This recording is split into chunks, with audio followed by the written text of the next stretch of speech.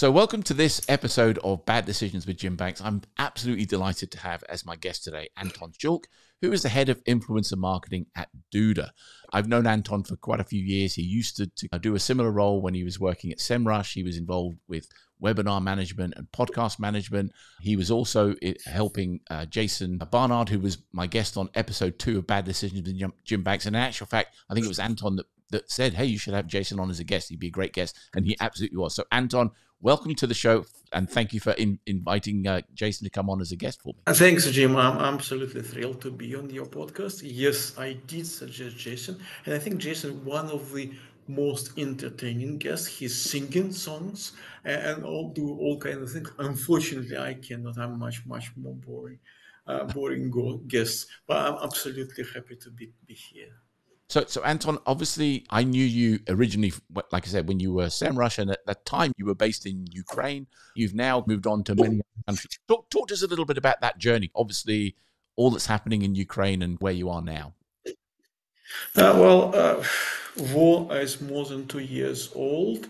Uh, started at uh, February 24, uh, 2022, two years a little bit and uh, because of the way we left country, we left country. I, I still remember the date, uh, April the eighth, 2022. So um, just just over two years. So we stay in Poland for one month, or because we want to get some some documents for our daughter uh, passport.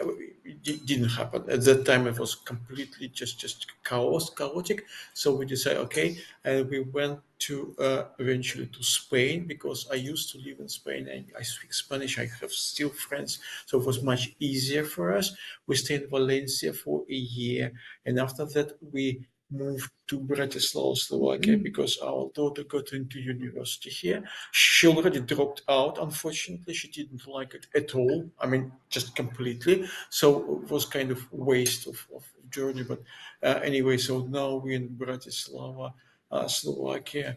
And actually, my family wants to go back to Kiev, which I disagree with because it's still war zone and who knows. But we might try to move to Kiev temporarily in June and see how, how, how it goes. Okay. One of the things that kind of struck me in that period, like it was not long after the pandemic had finished. So we'd gone from one major catastrophe, another major catastrophe we were watching it all unfold, couldn't believe what we were seeing really. I think as a community, all the people in the search community, PPC, SEO, influencer marketing, were relying on you to be the, the, the guy who was on the ground, able to talk about. What, yeah, I wasn't really in, in a war zone, no, no combats. Uh, anything like that uh, where, where, I was. Yeah, I remember when war started, uh, I, I, received literally 100 messages asking how I am. So I decide uh, on a Facebook just just just to, in order not to answer 100 messages personally, I just put this coffee shot every day. So every day I was uh, making a picture with, with, with the coffee, with the coffee like that, and saying saying something. So just just just say, okay, I'm still alive, guys. Yeah. Yeah, and and for me again, I I used to kind of wake up and that was one of the first videos I would go looking for was you with a cup of coffee to kind of make sure that one you were still alive and two what was going on. So yeah, it was was a first for for me, and I guess it was a first for for almost everyone. Yeah. So I know that the context of my my podcast is bad decisions with Jim Banks, but one of the good decisions that you made was you set up a charity to help support animals. Because again, I mean, we all hear of the human impact. So t- tell us a little bit about the, the charity. Okay, uh, it's it's not official charity. I don't have any license or anything, but I, believe me, all money go goes to a small shelters. I did we have no overcost or in anything like that. I uh, in Ukraine, Ukraine is, is a poor country. It's not uh, much of a government or any any other support for people who run small shelters. When I say small shelters, it's usually they're running their own flats or, or houses and it's between usually like 30 to 100, 30 cats of cats and dogs uh, to 100 something something like that you can imagine it's small but it's not really small uh, most of the time even before the war uh, those people they rely on on a charity money. People, people donated money to them, but it's usually just, just a personal donation. But when the war started, there became many more uh, stray animals or animals without home. And uh, on the other hand, people had much less spare money, put, put this way, to donate. So I decided we, we, can, we can help. And uh, at the beginning of the two years ago, uh, the feeling was uh, on the West, where, where you are, United States, United Kingdom, rest of the Western Europe, people really wanted to help. And it was very, very, very easy to collect money and to help. Now it's completely different story. People, uh, war is in third year. People get used to or even tired of, of the war. So people donate much much less money so it's more more difficult uh, we tried uh, last no february 29 we done a marathon four and a half hours of seo and ppc actually talk I was not talking about uh, mm, charity, but uh, we it was a cha- charity uh, uh, stream. So we tried to collect money, and uh, we had uh, actually sponsors. We collected about six thousand dollars, which is a huge amount of money which is for shelters. Again, I think the, the, the one thing you know, I, I don't think people are giving up on on kind of Ukrainian issues and, and everything else. I just think part of the challenge is that the, the kind of the spillover into other countries of the impact of things like the war. I mean, the war has been very harmful, kind of to the globe. Yeah, and, and, and there were more wars since then. We, we had war in Israel as well. So always yeah. attention partly goes there, and Yes, understandable. Yeah. So let, us turn things back to um, to kind of work for a little bit. So so you're head of influencer marketing at Duda. Um, what what does that kind of like that that entail? Because again, I mean, a, a lot of the, the people listening in are probably new to the digital marketing industry, right? And I think influencer marketing is one of those things, a little bit of a kind of unknown entity. I think a lot of people talk see they see the Kardashians and assume that that's what influencer marketing is all about, but there's more to it. So perhaps you can kind of tell us a little bit more about influencer marketing and specifically what. Yeah, yeah, exactly. Uh, um, mainstream of influencer marketing right now today is exactly this Kardashian uh, example when you have someone usually in, in, Instagram who's got an audience and you and you have you have your product whatever your product is and you're saying hey uh, uh, this is my product this is money uh, take my money make a video and, uh, and, and put your video your video about my product on, on your channel for your audience because you think the uh, audience is relevant. Uh, it's, it's, it's a mainstream. When I started, I started in 2015. It wasn't really like, like that. at that time, I think influencer marketing wasn't really a, a thing. So, but uh, what I do what what we do is slightly different, or, or, maybe very much different, because I would call what I just just just explained. I wouldn't call it influencer marketing. I would call it creators marketing. So creators make a video, uh, and uh, you basically buy buying it. Uh, it it's, it's all good if it if it works. It's fantastic. I usually created doesn't care about your product. He just just he or she just paid money get video done, go to next next, next product, maybe even to your competitors. Uh, and it's how, how it works. We work different way. We work a way of trying to establish relationship uh, with particular influencers. So we, we should know who in are. Uh, uh, when I work at SEMrush, it was very, very easy because it was very clear community of SEO and PPC. PPC probably at less extent, but still clear community. People, uh, you can you can see them on Twitter. Nowadays, we don't have a Twitter. So, but it's still probably community there. Uh, you can see who support whom uh, and, and, and, and everything and you can clearly see that I, I don't know. Uh, for SEO um, you can say okay Barry Schwartz is obviously an, an influence an influencer uh, yeah. for SEO and for, for PPC okay we have top PPC heroes of every top 10 PPC or top 10, 25 PPC heroes every. And we know, for example, Jim Banks, one of, one of the influencers for, for PPC.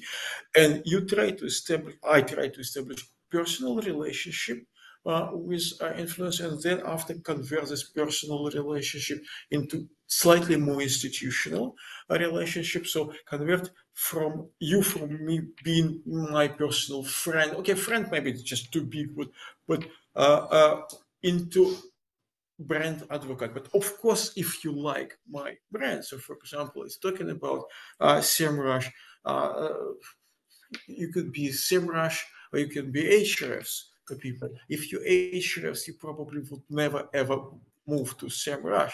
It's, it's, it's, fine, no no problem about that. Uh, it's like a, your Android or your Apple. Uh, uh, whatever you choose. If you if you stay with Apple, you probably will never go and buy an Android phone. Uh, so if you uh, genuinely open to work with SEMrush and you're influencer like yourself, uh, Jim, uh, I, I, was, I, was, trying to establish personal relationship, and after that, moved into uh, institutional to making out of out of you, making um, brand advocate. And uh, I use uh, webinars, live streams, podcasts as well, but usually podcasts with a video like your one as a main tool for, for this uh, because obviously it would be much probably would be much better if we, we could sit down and, and drink a coffee with you today uh, and have uh, your podcast just just just sitting just sitting uh, uh, together but it's much more difficult more costly and uh, a lot of limitation. Doing it online is much easier and cheaper and everything. It's, it's so it's why this is the way we're doing it. We try to give influencer a possibility to speak up, to give our own audience, to bring more audience, to give extra exposure, uh, to sell influencer to our uh, audience, and this way kind of to steal your soul. This is the idea. Yeah. So I mean, it, it's interesting. So so when I, I always remember when you first were, were, working with SEMrush and you invited me to kind of come along. I think you, you, invited me to do a webinar or something like that, or maybe a podcast. Um, again, for, for me, it's like as much as I, I, I liked SEMrush, I really liked you. I mean, for me, it was about knowing, liking, and trusting you as a person rather than the brand that you were representing. And I think so many companies, that's where they make the mistake. They think it's all about the company and the brand, and it's really about the people that are representing the brand, right? And again, you've always been. Is a phenomenal advocate for the brands that you've represented. So yeah, but this is this is very very interesting point, uh, and the SEMrush at certain point uh, they can see which way we would go. We as a SEMrush.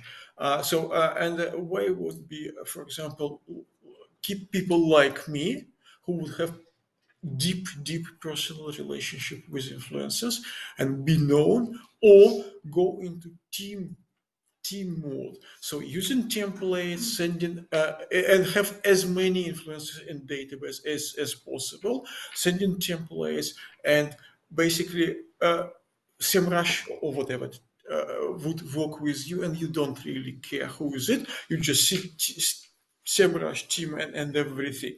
Which way to go? And SEMrush has many big, SEMrush it's, it's a corpor- corporation already. Uh, many of them choose the second way, doing it through team. Why? Uh, because it makes a corporation much less vulnerable. Because, for example, just imagine you have people like me, for example, and I know I know a hundred of influence and I have personal relationship. And as you said, you join it because you knew me personally. Just imagine I will I will uh, uh move from from uh, uh from a team, from a company, I would be big hole. Yeah. And the company, big company, decided, okay, we will we're gonna go safer way. Uh, we we will try to arrange a team, and you as an influencer, you don't really care who who, who is it. It's a Jim, is is is Mary or John, whoever doesn't matter. You only remember it's it's it's a SEMrush and it's much safer. It's maybe less effective in terms of particular one uh, because you, this way you don't don't create personal relationship and personal relationship. I think is incredibly incredibly powerful thing, and in in our industry or in all digital marketing, is very important who know whom. Yeah, I think it's extremely important. Uh, so, but if you big brand, you probably think no, I, I prefer play safer way.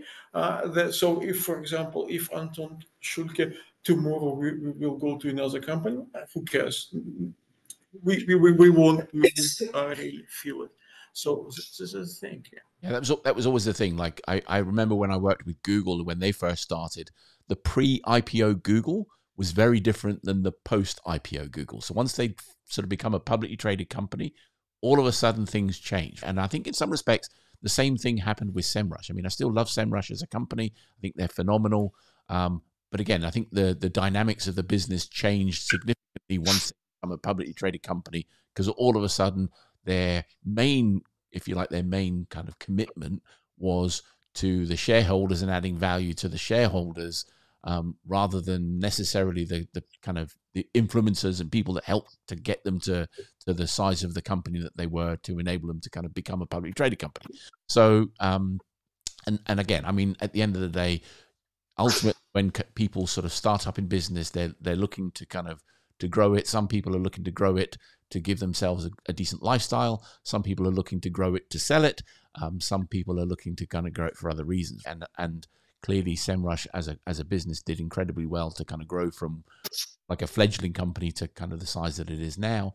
Um, but you know, but at the same time, I think the the community, the the influencer marketing community, can make a huge difference. To the impact that you have, and to your point, I definitely think that um, you know it, it, it is to kind of get it get it going. It is important to have people that that everyone knows, likes, and trusts to help get things off the ground. Yeah, I think I think it's incredibly important. But we we've seen different examples. We've seen Moz, for example, Rand Fishkin. Everyone remember that because I'm pretty sure during the Rand Fishkin time, most people, Moz and Rand Fishkin, they thought it's the same. And when he left, was slightly I feel kind of slightly, what, what is this, Moz or Rand Fishkin and Fishkin Moz. So uh, for big company, it might be a a problem actually having uh, such such a leader and such a recognizable uh, face. I think it's it's it's a huge advantage and you have to use it, but sometimes it might be a problem if if, if the way it goes. It's funny. I've, I've, got a funny, like I say, a funny story. It's not a funny story at the, at the time. So way back, I think in probably like the very very early days of SEO Moz. Uh, we were pitching. So I was working with a company, and I literally just sold my agency to a company in North America um, I think it was like 2006, 2007. Um, I sold a, a, business. We were trying to win a piece of business, and we were in the, the sort of final two for the pitch. And we ended up losing that business. And the company that we lost it to at the time was SEO Moz, right? So this is for Moz, the software company. This was SEO. They were doing SEO. So I phoned up the, the prospect and kind of said to them, well, why, why did why did you choose them over us? And they said to me, and this is like a really really important lesson that I learned out of the process. They they said the reason it to to SEO Moz and Rand rather than to you was Rand took the t- the time and trouble to actually get on a plane, come and see us, and actually spend time with us face to face. And for me, that was such a an insightful uh, thing that that for me, I've made that part of my go-to strategy now. If I'm trying to win business, keep business, as much as it's expensive to do it, sometimes it's it's important for you to be able to kind of go and and physically, as you say, sit down and and have a cup of coffee, have a have a drink, whatever it might be, but make make the effort to kind of go and, and win it. It's not just about your PowerPoint, your deck, your case studies, your testimonials, yes, all those things are important, but they're not anywhere near as important as as forging a strong bond relationship. So for me, I, again, I, that was 2006, and I've used that story ever since then to kind of try and and ensure that I'm not losing business by not being personable enough to go and take time to, to make the prospective customer feel important to me. Oh, yeah, I absolutely agree. As I so very so clear and, and for that. Less. My, no, I agree. And it's classical uh, example of uh, making build building things on a personal relationship, which is much stronger and and, and probably uh, probably people and in terms of churn and everything if people have a personal relationships they probably would approach you and say look we're not happy because of this and that, that. and if they no no relationships they just cancel it and go to another company. Uh, but how many personal relationship you can handle? This is another thing. So if you're big big huge company and you you just just go for you probably won't be able to. If you it's a sm- reasonably small team it's a completely different matter. For example talking about semrush when i joined them in i think 2016 uh, they have 400 people. When i left uh, five years uh, later uh, they have 1000 plus and already been traded on nasdaq already been publicly traded company. Co- completely diff- different things. Yeah um, so, to t- I mean, obviously, we talked a little bit about um, influencer marketing, kind of at a holistic level. Mm. Can we kind of like drill it down specifically into Duda? So, t- tell us a little bit about Duda and what Duda does as a business, right? Because again, I've got I've got some people that I knew from back in the day when Duda first started. I'm sure it's a very different company uh, then to now. But uh, tell tell me a little bit about Duda and what what Duda's all about. Okay, Duda is CMS and the website builder, which is not the same. When I moved, I thought it's the same, uh, but, but it, it's not. But Duda is both. Uh, it's uh, similar to WordPress or Wix, smaller, of course, but uh, uh, Duda is not a new company. Uh, every company is startup, but Duda is not a new company. Duda will be 14, one four years this year, which probably a veteran company in our industry. Uh, main audience for Duda CMS is, is a software you actually produce websites. Uh, use using uh, software this software. Uh, Duda main audience for a long time was uh, still is uh, agencies, digital agencies. Uh, usually it works this way. Digital agency use Duda to uh, create websites for clients. Uh, we're talking mainly this not about boutique agency, but agency who works with small, medium-sized businesses. So, for example, if you uh, if you're agency and you work with local clients like uh, I don't know, plum, plumber, plumber in, in Houston, mm-hmm. if you're in Houston. Uh, so, uh, and a plumber doesn't really want to deal with website or anything. He go, goes to your agency, say, hey, I need a website. So you build them a website using Duda. Why using Duda? Because there are some, some advantages of WordPress. I'm not saying Duda better than WordPress, but for agency, probably Duda is agency who deal with reasonably simple website for small medium size. Duda probably better. More, more effective more, more effective. You can do websites three five times faster and you, you don't need to search passwords and everything. Okay but i'm, I'm not gonna gonna try to sell you to the right, right now. I'm not in sales. Uh, so uh, this is this is a main uh, uh and, and these agencies they're not only doing website designs of course uh, after they're done a website, they, they say they're saying to you, "Okay, we've done websites, fantastic website. Do you want? we can just give it to you? You can you can handle, you can maintain, you can change everything. Or you want to pay us small retainer, and we keep you uh, and we will be updated. Obviously, plumbing takes in Houston, we say, yeah, I'll, I'll pay retainer. Uh, so it's how they build build the client base, and after that they go and say, okay, you have a website, but you know. Uh, you we, we, we can get you some visibility, SEO, local SEO, PPC, content marketing, you, you name it, as they upsell it, and eventually uh, they, they, they, get some, some substantial amount of money from client. But of course, they help they help the client as well. So this is main do specialty and main main uh, client database. But now uh, Duda actually working very uh, i wouldn't wouldn't when i joined i wouldn't think about it.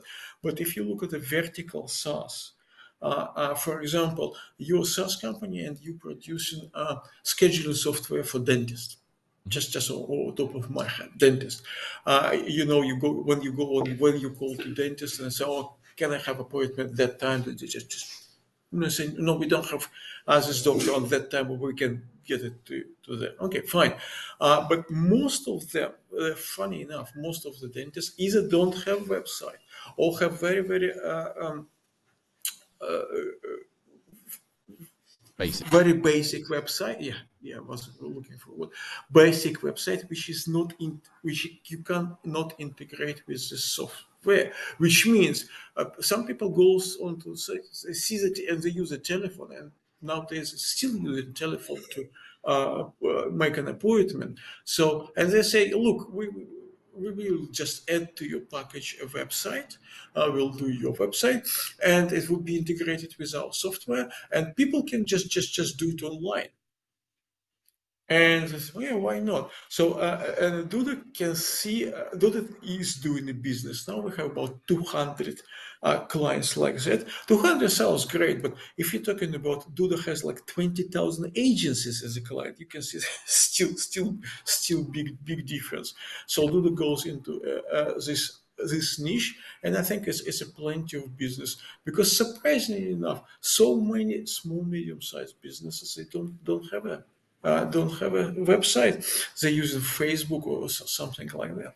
Yeah, because I think the, the whole concept of digital marketing scares a lot of traditional businesses and, and dentists. Funny enough, way back in '99, when I was working as a sales manager for a, a web design company, um, we were talking to dentists back then, and I, I basically was trying to pitch somebody on uh, like basically having a, a, website built, and they, they they agreed to have a website built because they didn't want to be the only dentist in that particular location not to have a website. That was their motivation behind it, rather than it being efficiency and effectiveness. So what we ended up, we, we built them the website and we said, look, this what this this website could do. I mean, like like dental practice is one of those. It's a classic business where basically you want people to go and have like checkups probably once a year and see a hygienist once a year, right? So that's typically two appointments minimum every single person should have to, to do once a year. And what would happen is that this dentist would, would send out co- postcards with a stamp on, right? or six month period. They'd have somebody that would sort of sit there and write the cards out and say, you need to come in to see the dentist. I still get it now from my dentist. They still send out a letter to say, you should come in and have a checkup. And I'm thinking, we, we are we are so far past that. And I think so much of the the decision making is based upon the sophistication of the person actually doing it. And, and again, you can't blame dentists for not understanding it because they're dentists, right? I don't know the first thing about teeth. They know everything about teeth and fillings and so on and so on. I know nothing about that. But they should defer to people who are experts. And I think that's where I think a lot of people they try and do things themselves. I mean, I'm sure I could pick up a pair of pliers, grab a tooth, and give it a good yank, and it might come out. it won't be the best way to do my dental work. So I, I'm going to defer to a, an expert in that particular field. Uh, yeah, absolutely. A lot of them they don't understand, but they probably shouldn't. As, as you said, uh, the question is if they listen. Uh, I'm pretty sure many of them listen, and uh, for me, for me, it's absolutely for me, especially because um, I, most of the time I'm a foreigner. Sometimes I don't speak local language, so for me, it's much much easier to do things online where I can check change the language or translate.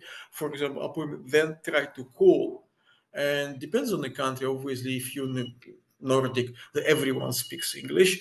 Uh, and uh, but for example, here in Slovakia, uh, when I have to call, it's, it's a problem. I don't speak Slovak, and they usually don't speak good enough English to, to do it over the phone. So yeah. uh, I would I would definitely prefer. Well, of course, I understand the business is mostly for local people, not for foreigners who doesn't speak local language. But it's it's, it's just example. I, I do understand importance, and and I think it's it's very easy. People who understood importance, who goes with with this marketing uh, things, they they get more money. Uh, also, they just survive. And people who want, they want. Yeah, I mean, sometimes it's they'll make more money, but sometimes it's they'll save a lot of money. Again, if you think of a, a dentist 25 years ago, that instead of sending out, let's say they had a thousand patients, right, thousand patients twice a year, two stamps times, so that's 2,000, you know, basically 2,000 postcards per person per year, right? That, that that's a huge amount of money that they would be spending on postage that they didn't have to pay anymore. It's just literally an email that would get automatically sent out every six months to say, you need to see a dentist, you need to see a hygienist, done. And you could do the same thing. You need mm-hmm. new tires, you need a kind of winter checkup. You need all sorts of different things. So much of it is about efficiency and effectiveness and understanding some of the technological capabilities that exist now. I mean, again, I'm a I'm a huge, huge fan and proponent of using Notion, right? I use it kind of like as a second brain. So it, it'll be for like my tasks and all sorts of different things that I'll I'll just put it into the I can walk around, make recordings, and it'll put it into my database and sort of set a flag and remind me and all that sort of stuff. Because again, I don't want to be walking around trying to remember what what I need to do. I mean, I kind of went shopping with my wife this morning, and we couldn't remember where we'd parked the car. I mean, I'm thinking, we must be getting really, you know. Yeah, very, very, very bad with the parking car, and I always, when it, when it's, it's a huge one, I always make a picture uh, with with a number uh, uh, and, and everything, and send send it to myself. So just to make sure. It's it's funny. I do that quite often. If I if I go traveling, um, one of the first things I do when I check into my hotel room is I take a, a picture of the door number, so I know what which room I'm in. Because then that way, if I do end up kind of sleepwalking and walking in the corridors at night or something like that, at least I know kind of which room I'm in. We're getting old. yeah, we are definitely getting old. Well, I am. I don't know about you, Anton. Um, so, uh, so obviously, the future for you could be that you may go back to Ukraine. You're not sure, kind of like if that's going to happen or not. Um, again, if you, if you do go back, I wish you kind of uh, safe safe passage and, and hope it all kind of works out okay. And hopefully, this horrible war will kind of end at some point in time.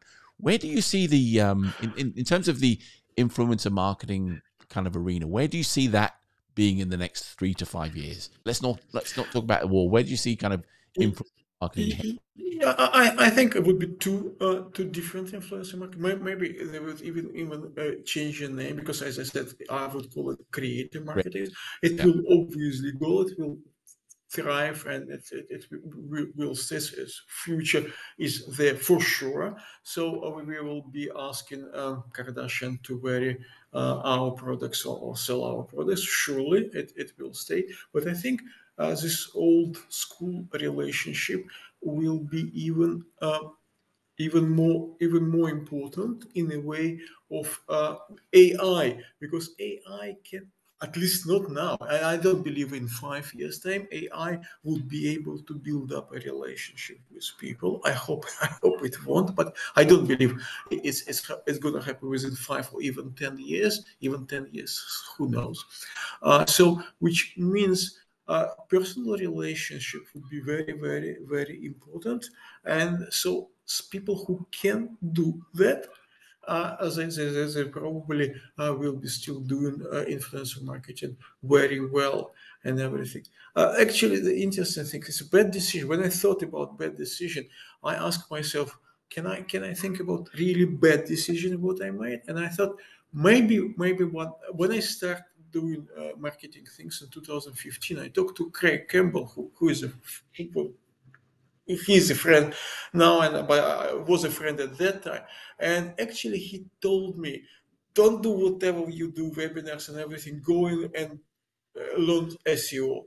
And probably was was I wasn't technical enough or something, so I didn't. And I thought maybe it's it's a bad decision because, for example, right now for me. Uh, because you can you can see how many uh, people looking for, for good SEOs, and it's so easy. I, I'm not saying easy to do. I'm saying it's easy to sell yourself. You say, okay, I'm SEO with 10 years experience, for example.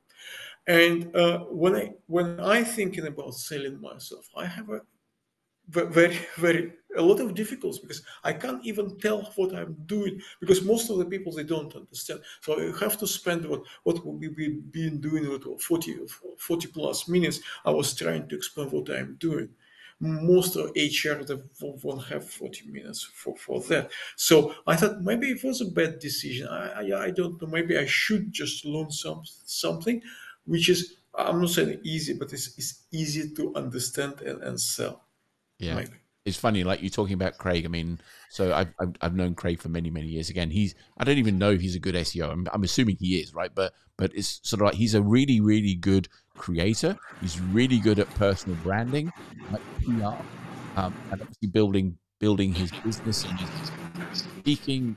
And again, I mean, he, he gets invited to speak at lots of conferences, but he does a very good job of both promoting his own involvement in the conference, but the conference itself. So, again, as a conference organizer, you want your speakers to do that. You want them to kind of help put the, the yes, events like webinars on the map. Because ultimately, if you have a a person like Craig who's got maybe 120,000 subscribers on YouTube, if he puts on a thing and says, "Hey, I'm kind of uh, headlining a particular event," then that's good for that's good for the event. I mean, you know, people might sort of watch it and say, "Hey, I like Craig. I like his content.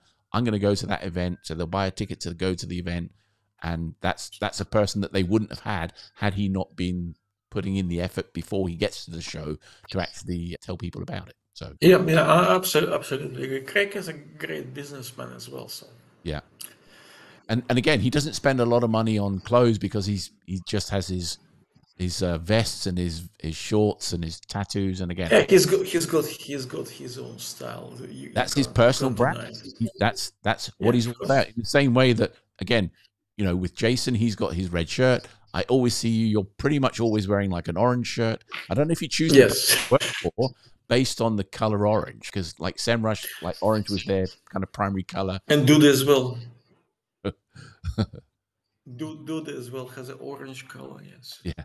Yeah, it's a joke. And before SEMrush, I was working for unknown or very, very little known uh, web promo Ukrainian company. It has uh, orange uh, orange as well. So uh, obviously, you being English, and if I sell uh, the future uh, uh, is bright, the future is orange. You know what, what I'm talking about. I do I do know what you're talking about. So Anton, thank you so much for being a guest on the podcast. Obviously, in the show notes, I'll include all the information about your uh, your, your charity where people can kind of go to kind of donate. Again, that would be fantastic. You know, again, like if if you do if you do nothing else other than that from this particular episode, then fantastic. But I think Anton's given us some fantastic insight, and there will there will be all of the information about how you can reach out to Anton, uh, how you can kind of catch him. Uh, Anton, just like I said, just remains for me to thank you for being a fantastic guest, and hopefully at some point in time uh, when the, the kind of climate permits, we can kind of have a, an actual coffee across the table and maybe pick up the uh, the conversation. Where we... Yeah, would would be great. And thank you uh, for for having me. Yeah, fantastic, great. fantastic conversation. I like to do it. And we'll speak soon.